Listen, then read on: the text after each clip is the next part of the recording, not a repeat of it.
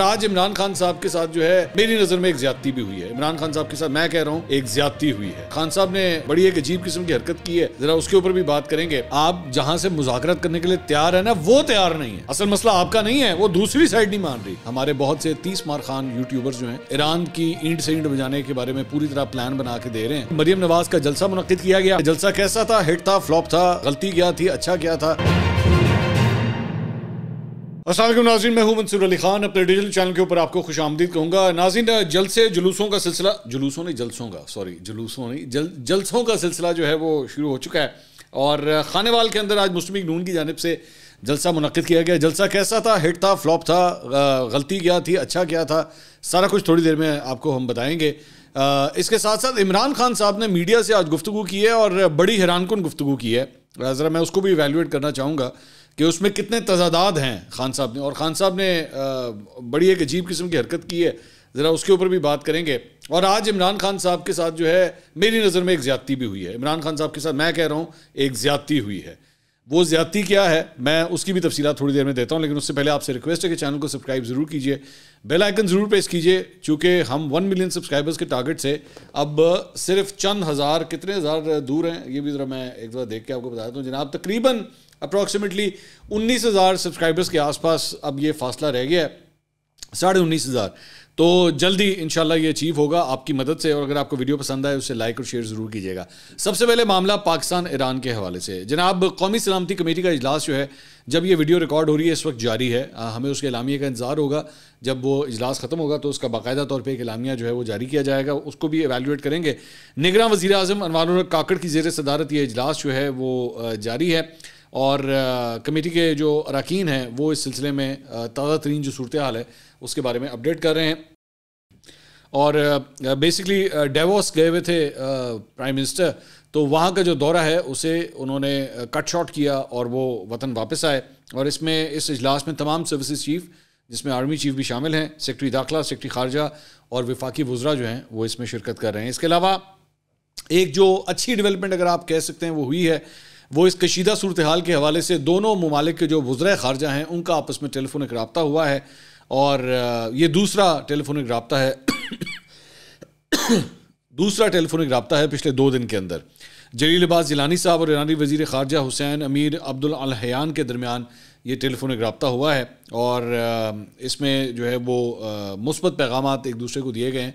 और ये कहा गया है जी, ये जो इस वक्त बॉर्डर के ऊपर जो टेंशन है, इसे कम किया जाना चाहिए। इसके साथ साथ जो तुर्क वज़ी ख़ारजा हैं, उनके साथ भी पाकिस्तानी वज़ी ख़ारजा की आपस में गुफ्तु हुई है और तुर्की ने भी जो है, वो दोनों ममालिक से ये मुतालबा किया है कि डी जो है सिचुएशन को किया जाए। चाइना इससे पहले ऑलरेडी सालसी की पेशकश कर चुका है दोनों ममालिक के दरमियान, लेकिन मुझे ये लगता है ये मेरा हंच है, या एनालिसिस है कि शायद आपको किसी तीसरे फरीक की ज़रूरत ही नहीं पड़ेगी। ये दोनों ममालिक जो हैं, मेरे ख्याल में आपस में मामला को रिजॉल्व कर लेंगे। इवन दो मैं देख रहा हूँ कि पिछले अड़तालीस घंटे में हमारे बहुत से तीस मार खान यूट्यूबर्स जो हैं, वो ईरान की ईंट से ईंट बजाने के बारे में पूरी तरह प्लान बना के दे रहे हैं। जैसे कौमी सलामती कमेटी के मेम्बरान ये खुद हैं। तो अगर इनके हाथ में होना तो ये ये यूँ यूँ करके जो है ना मिज़ाइल के बटन दबाना शुरू कर दें। लेकिन इस तरह नहीं होता। बड़े कैलकुलेटेड तरीके से डिप्लोमेटिक फ़ेज़ जो हैं, वो आगे चलते हैं। लेकिन अब इनको कौन समझाए? अच्छा जी, जहाँ पे डिप्लोमेटिक फ़ेज़ जो है, बड़े ध्यान से चलते हैं, वहीं पे इलेक्शन का प्रोसेस जो है, वो भी बड़े ध्यान से चलता है। लेकिन मेरे जो आइडियल एंकर पर्सन है, जो मैं इंशाल्लाह एक दिन बड़ा होकर बनूँगा। अच्छा मैं जब ये कहता हूँ ना, मैं बड़ा होकर बनूँगा तो कुछ लोग नीचे कमेंट सेक्शन में लिखना शुरू हो जाते हैं, भाईजान, आपने कितना बड़ा होना है और? भाई, इंसान तो बड़ा होता रहता है, सारी ज़िंदगी बड़ा होता है। आज आपकी जो उम्र होती है, पाँच साल के बाद आप और बड़े हो जाते हैं, दस साल के बाद आप और बड़े हो जाते हैं। तो मैं जब तक कामरान खान नहीं बनूँगा, मेरा बढ़ने का प्रोसेस चलता रहेगा। चलता रहेगा चलता रहेगा। इवन दो मैं छः सात साल से कोशिश कर रहा हूँ, लेकिन मैं उसमें फेल हो रहा हूँ, लेकिन ये प्रोसेस तो चलता रहेगा। अब कामरान खान साहब ने एक और ट्वीट की है। उन्होंने कहा, जी इलेक्शन मुलतवी करने होंगे। नहीं, इस तरह नहीं कहा। उन्होंने कहा इलेक्शन मुलतवी करने होंगे। बज़ाहिर नामुमकिन नज़र आता है कि मौजूदा हालात में कौमी सलामती कमेटी आज के खसूस इजलास में लाखों फौजियों को सरहदों से हटाकर गली कूचों में लगाने की इजाज़त दे। बड़ी मुश्किल से आज कौम में मिसाली इतिहाद नज़र आ रहा है। कैसे मुमकिन है कि अब हम सरहदों की इंतहाई कशीदा सूरत हाल के बावजूद हम अपने फौजियों से कहें कि वो गज़ब के मुतनाज़ इलेक्शन में मुतहरब सियासी जमातों को एक दूसरे से गुत्थम गुत्ता होने से बचाएँ।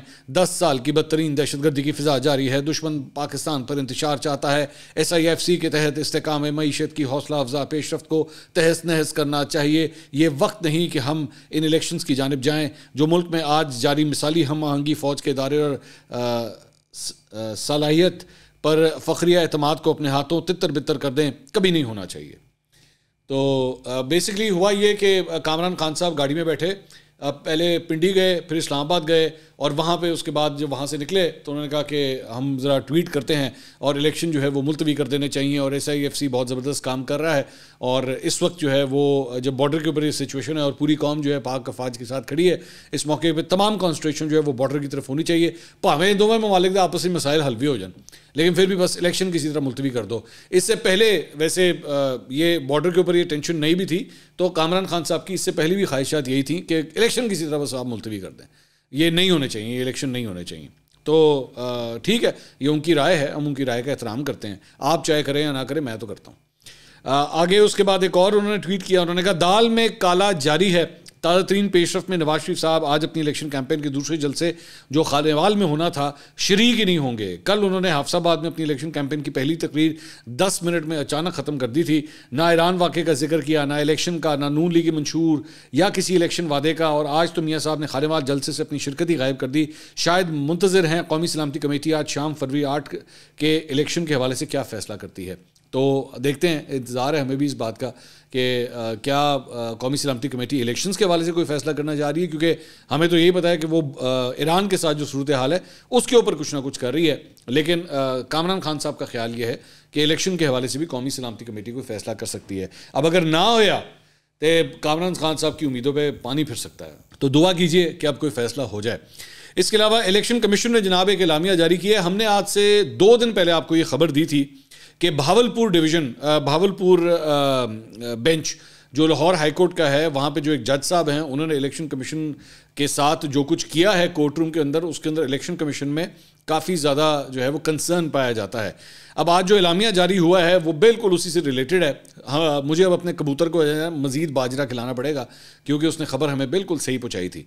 तो इलामिया जो इलेक्शन कमीशन का, वो ये कहता है कि Lahore high court Bahawalpur bench के रिमार्क्स हजफ करने, कराने के लिए दरख्वास्त देंगे। आरोज ने कहा कि वो हाईकोर्ट के तहरीरी ऑर्डर के बगैर निशान तब्दील नहीं कर सकते। हाईकोर्ट ने किसी ठोस वजह के बगैर चीफ इलेक्शन कमिश्नर और दीगर को तलब किया। हाईकोर्ट ने कमीशन की किसी कोताही का ज़िक्र किए बगैर कमीशन के खिलाफ रिमार्क्स दिए। इलेक्शन कमीशन एक, एक आइनी इदारा है जिससे अपनी ज़िम्मेदारी का इतराक है और वक्त पर करता है। Lahore high court Bahawalpur bench के रिमार्क्स बगैर किसी वजह के हैं। अगर इलेक्शन कमीशन की दरख्वास्त मुस्तरद होती है तो वह आला फोरम पर रजू करेगी करेगा। इलेक्शन कमीशन को 260 मिलियन बैलेट पेपर्स छापने हैं। इलेक्शन कमीशन ने बैलेट पेपर्स की छपाई का काम 14 जनवरी से शुरू कर रखा है। अब तक मुख्तलिफ़ हलकों के बैलेट पेपर्स छप चुके हैं। वक्त पर इलेक्शन के लिए कमीशन ने आर एस को हिदायत की वो कि वो इंतबी निशान तब्दील ना करे। ये जो कहा जा रहा है ना कि अगर हमारी दरख्वास्त मुस्तरद हुई तो वो अला फोरम पर रजू करेंगे। अला फोरम से मुराद जो है, वो मोस्ट प्रॉब्ली सुप्रीम कोर्ट या सुप्रीम जुडिशल काउंसिल भी हो सकता है। और ये बात मैंने आपको उस दिन बताई थी। तो देखें इस पर क्या होता है। अब इमरान खान साहब से जो ज्यादती हुई है, जिसके मेरा पेन नीचे गिर गया। एक इमरान खान साहब से जो ज़्यादा हुई है, जिसका मैं जो है वो बर्मिला इजहार करना चाहूँगा, वो हुआ ये कि पाकिस्तान और न्यूजीलैंड के दरमियान जो है वो आज मैच जारी था। अच्छा मैं तो मैच ही देखना चाहता है। ये जो ऑस्ट्रेलिया गए हैं, वहाँ वहाँ पे जाके वाइट वॉश हो गया। इधर जो टी ट्वेंटी था, ये भी मुझे पता नहीं मुझे मैच शुरू होने से पहले पता नहीं उन्होंने हार जाना है। तो मैं मैच ही नहीं देख रहा सी लेकिन मुझे पता लगा कि चौथे टी ट्वेंटी मैच में जो पाकिस्तान अल्टीमेटली हार ही गया तो ग्राउंड के अंदर इमरान खान साहब के किसी फ़ैन ने इमरान खान साहब की तस्वीर पकड़ी हुई थी। और उसके अंदर उन्होंने वो पीटीआई का जो है वो मफलर भी पहना हुआ था। उसके नीचे लिखा था a legend of the legends तो जारी बात है, जब इस किस्म के पोस्टर्स या तस्वीरें होती हैं तो अब वो और जो टुट पैना कैमरा मैन सी, उसको तो नहीं पता कि हमारे मुल्क में क्या हो रहा है। या आप इमरान खान साहब की तस्वीर नहीं दिखा सकते या उस आ, उनका जो है वो कोई आ, उनकी तस्वीर नहीं चला सकते वीडियो नहीं चला सकते उस बेचारे ने जो है वो कैमरा चिपका दिया वहाँ पे। और वो जो फ़ीड आ रही थी वहाँ से मैच से वो उसके अंदर इमरान खान साहब की तस्वीर आ गई। अब ये फ़ीड जो है ये पीटीवी स्पोर्ट्स के ऊपर जो है वो चल रही थी। तो जैसे ही इमरान खान साहब की तस्वीर आई तो मेरे ख्याल में वहाँ पे पीटीवी स्पोर्ट्स में किसी ने बुलंद आवाज़ में जो है वो चीख मारी हो गया कट करो ए तो वो, उन्होंने उसी वक्त जो है वो टक करके कट किया और वहाँ से जो है वो पीटीवी स्पोर्ट्स जो है वो ब्रेक के ऊपर चला गया। और उसके बाद जब दोबारा वो तस्वीर हट गई और बॉलर के ऊपर जो है वो दोबारा कैमरा आया तो पीटीवी स्पोर्ट्स जो है वापस आ गया। देखिए सियासत के मैदान में पहली बात तो मैं इसके भी हक में नहीं हूँ कि सियासत के मैदान के हवाले से भी जो है वो इमरान खान साहब की तस्वीर को सेंसर किया जाए या उनके बयान को सेंसर किया जाए। मेरी ये बड़ी वाजे पोजीशन है जो मैं पिछले कई महीनों से ले चुका हूँ। इसमें कोई दो राय नहीं है I stick to it and not just Imran Khan साहब मैं हमेशा फ्रीडम ऑफ़ स्पीच के साथ हूँ। सबको बोलने की इजाज़त होनी चाहिए। तो आ, मैं तो किसी सूरत भी इस हक में नहीं हूँ। दूसरी बात ये कि भाई क्रिकेट के मैदान में अगर एक वो बंदा जो है ना फॉर्मर कैप्टन भी रहा है पाकिस्तान का। तो अगर क्रिकेट के मैदान में उसकी तस्वीर अगर नज़र भी आ रही है तो इसमें क्या गलत बात है are you going to denied आप बैठ के अपनी हिस्ट्री को धोएंगे बैठ के मतलब कि यार किसी तरह इमरान खान का नाम जो है पाकिस्तान की क्रिकेट की हिस्ट्री से मिटा दिया जाए क्यों मिटा दिया जाए उस बंदे ने उन्नीस सौ बानवे का वर्ल्ड कप जीता हुआ या तो तुम आई सी एल फोन करोगे भाई ना जो उन्नीस सौ बानवे का वर्ल्ड कप है ਤੁਹਾਡੀ ਮਿਹਰਬਾਨੀ ਵਾਪਸ ਲੈ ਲਓ ਸਾਨੂੰ ਇਹ ਨਹੀਂ ਚਾਹੀਦਾ ਇੱਕ ਜਿਹੜਾ ਅਸੀਂ ਜਿੱਤਿਆ ਨਾ ਵਨਡੇ ਦਾ ਉਹ ਉਹ ਵੀ ਤੁਸੀਂ ਵਾਪਸ ਲੈ ਲਓ मतलब यू कान डू दिस आप नहीं कर सकते ना तो ये क्रेडिट जो उसका है वो आपको देना पड़ेगा उसे। तो ये बड़ी बचकाना किस्म की हरकत है। मुर्तज़ा सुलंगी साहब जो हैं वो वज़ीर इतलात हैं। मैं आ, मेरी ख्वाहिश होगी कि वो पी टी वी में जिसने भी ये चीख मार के ये जो कट करवाया है ना ज़रा उसको चीख मार के ज़रा थोड़े डांटे भी कि यार ये तूने क्या बेवकूफ़ों वाली हरकत की है। अच्छा जी इसके अलावा पाकिस्तान तरीके इंसाफ ऑफिशियल की जानब से एक वीडियो जो है वो ट्वीट की गई है। सबक सूबाई वज़ीर और तरीके इंसाफ के टिकट होल्डर ख्याल अहमद कास्त्रो। उनको सेशन कोर्ट के सामने से नामालूम अफराद बदतरीन तरीके से तशद करते हुए गाड़ी में घसीट के जो है वो ले गए ये वीडियो फुटेज जो है आप स्क्रीन पर भी देख सकते हैं। तो उसमें उन्होंने लिखा हुआ जी, इतनी खुली दरिंदगी पर भी क्या सुप्रीम कोर्ट जैसे इदारे ख्वाब खरगोश में रहेंगे? अब इसमें दो वर्जन हैं। एक वर्जन ये है कि बेसिकली ये मतलूब थे नौ मई के हवाले से और ये अंडरग्राउंड थे, कहीं पे मिल नहीं रहे थे। तो अब जैसे ही ये मंजर आम पर आए तो इनको जो है वो गिरफ़्तार कर लिया गया। और इस तरह इनको उठा के ले जाया गया। आ, दूसरा वर्जन ये है कि जिस तरह पाकिस्तान तरीकन साहब के लोगों की पकड़ दकड़ हो रही है ये भी वही सिलसिला है कि लोगों को उठा के ले जाना गायब कर देना गिरफ़्तार कर लेना और कुछ पता नहीं कि कास्त्रो साहब जो हैं वो चार दिन के बाद जो हैं वो आएँ और वो कहें जी मैं चिल्ला कट के आ गया तो मेरा ख्याल में इस्तेकाम पाकिस्तान पार्टी बड़ी ज़बरदस्त है और मुझे जहांगीर तरीन पर पूरा अतमाद है you never know what happens so let's see इसमें अब क्या होता है आगे। इसके अलावा एक सौ नब्बे मिलियन पाउंड रेफरेंस में बुशरा बीबी और इमरान खान साहब के ऊपर आज भी फर्द जुर्म आयद नहीं हो सकी और कार्रवाई जो है चौबीस जनवरी तक मुलतवी होगी जज मोहम्मद बशीर के रूबरो इसके केस की समात हुई। इमरान खान साहब की जानब से लतीफ़ खोसा शबाज खोसा, उस्मान गुल, सलमान अकरम राजा, ये सब लोग जो है अदालत में पेश हुए। तो इमरान खान साहब की जानब से रेफरेंस में वकला तब्दील करने की जो है वो दरख्वास्त दायर की गई। और इसे मंजूर करते हुए अब नई टीम जो नैब के इस केस में जो है वो इमरान खान साहब की पैरवी करेगी, वो है बैरिस्टर अली जफ़र सिकंदर जुल्कनैन और उस्मान गुल। ये लोग जो हैं, वो अब इमरान खान साहब को रिप्रेजेंट करेंगे। अब इसमें बाद में जो है ये कार्रवाई चौबीस जनवरी तक मैंने बताया था मुलतवी होगी। इसके ऊपर वी न्यूज़ ने ये कहा है वी न्यूज़ ने ये रिपोर्ट किया है कि जी बेसिकली इमरान खान साहब अपनी इस कानूनी टीम से जो है वो मुतमिन नहीं थे। और जिसकी वजह से उन्होंने जो है वो ये तब्दीली की है। लेकिन मुझे इसका जो एक दूसरा वर्जन पता लगा है, वो ये है कि आज भी जो है वो लतीफ़ खोसा और ये लोग सारे कोर्ट रूम में मौजूद थे और इमरान खान साहब उनके साथ जो है वो मुखातिब थे, खुशगपियाँ चल रही थी everything was very fine मेरे पास जो इतला है वो ये है कि लतीफ़ खोसा साहब एक्चुअली इलेक्शन लड़ रहे हैं।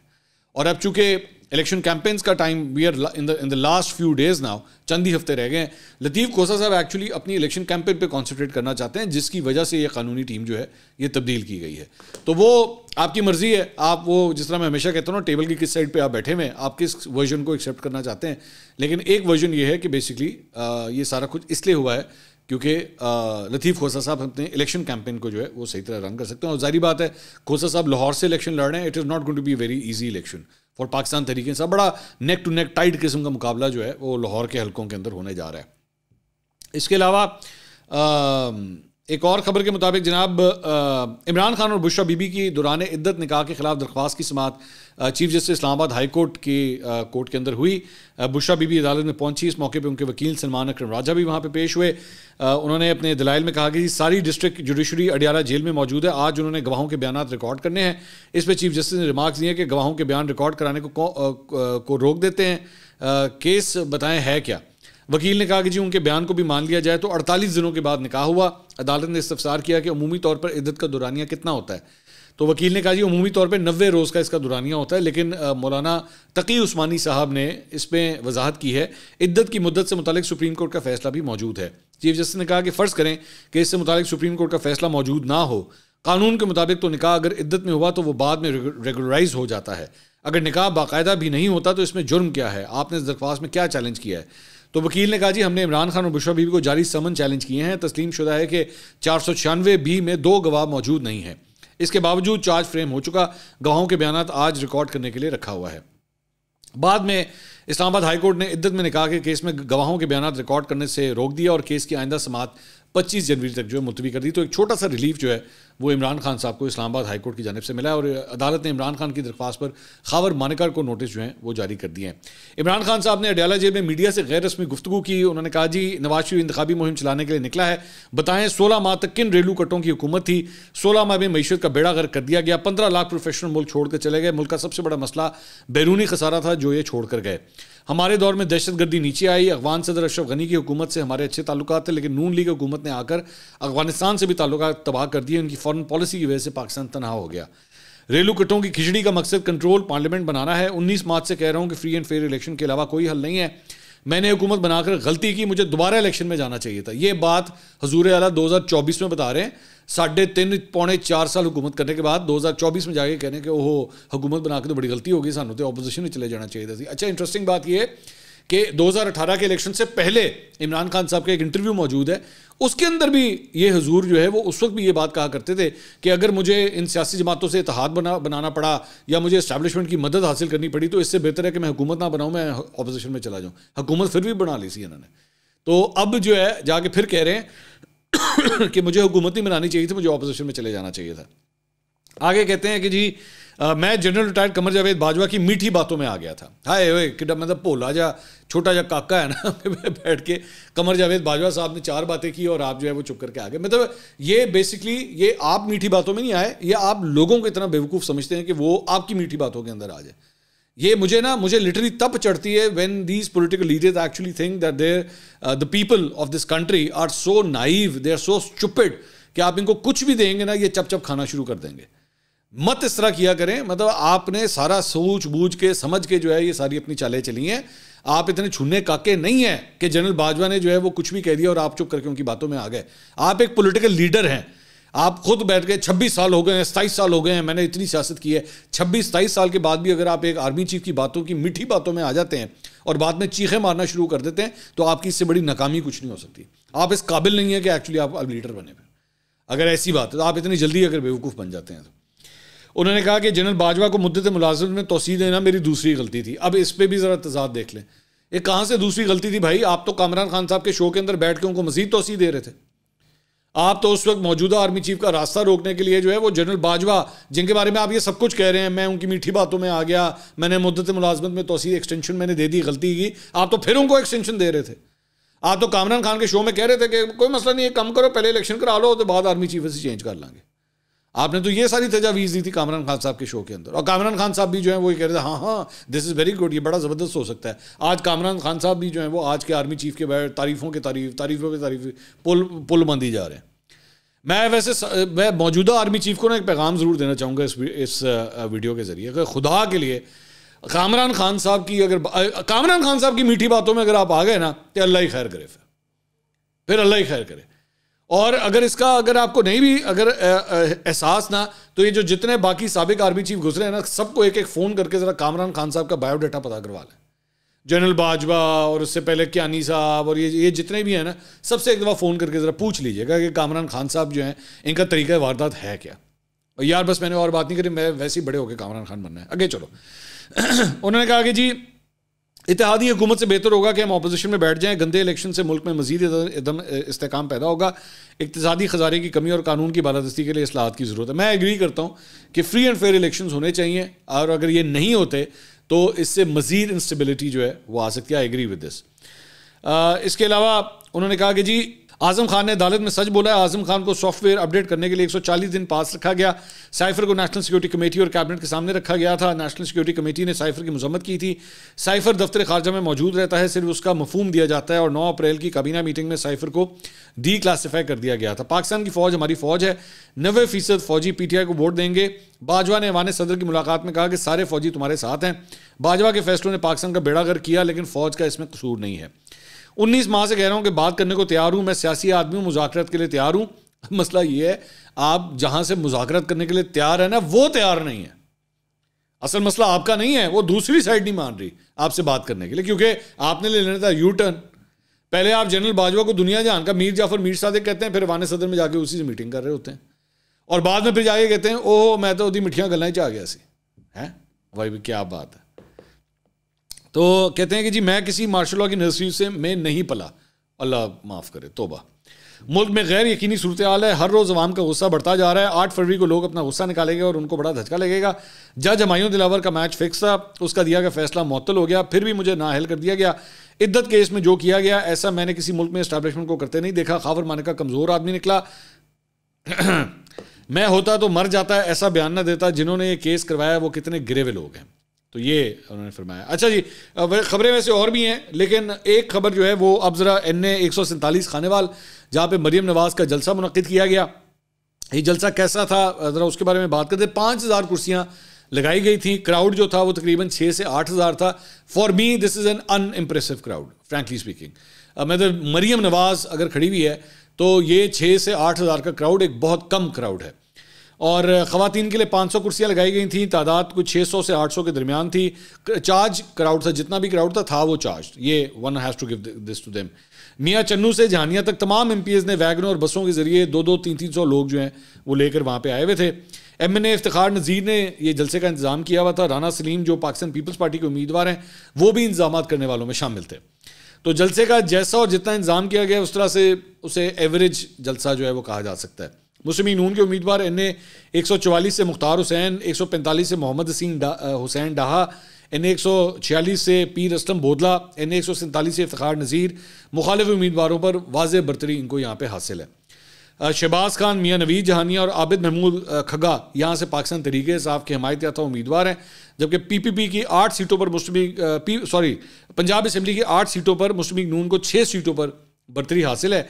पीपी 206 में आज़ाद उम्मीदवार अहमद यार हिराज का नून लिखे उसामा अफजल से अच्छा मुकाबला होगा, जबकि पीपी 209 में पीटीआई के उम्मीदवार फैसल न्याजी रूपोश हैं। उनकी उनकी जगह हमायूं खान का मुकाबला नून लिखे चौधरी रहमान से होगा। तो ये जनाब जलसे की अपडेट थी। और भी बहुत सी खबरें हैं। अगली वीडियो में उसे कवर करेंगे। अल्लाह हाफिज़।